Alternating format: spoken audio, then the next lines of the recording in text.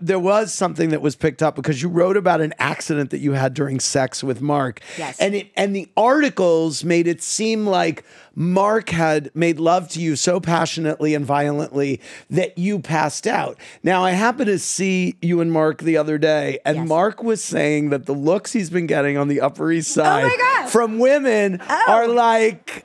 Hey, yeah, I mean, everyone wants. Uh, everyone, Mark, everybody wants to know, and and so and they did at the hospital as well. Right. It was like everybody wanted to get a load of the guy Right. who put it on his wife to the point of unconsciousness. and I, I break down our relationship like this: the emojis we when the article broke, Yeah. the emojis we received by our friend groups in our cell phones. My friends were sending me broken hearts and prayer hands and OMGs and WTFs and all of that. And his friends were sending him Mexican flags and eggplants and fists and all kinds of like crazy. It's just that's the breakdown. Um, what happened was I had just had a baby, not just, but I had had a baby.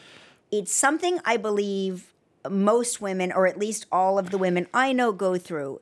Having sex again after you have a baby is mm-hmm. alarming at best, nerve wracking, and sometimes can cause great bouts of surprise at the worst. And what I didn't know was that I had an ovarian cyst. I had no idea. Wow. And it burst during that Wow. sexual encounter, That's which very- caused me to pass out and hit my head did.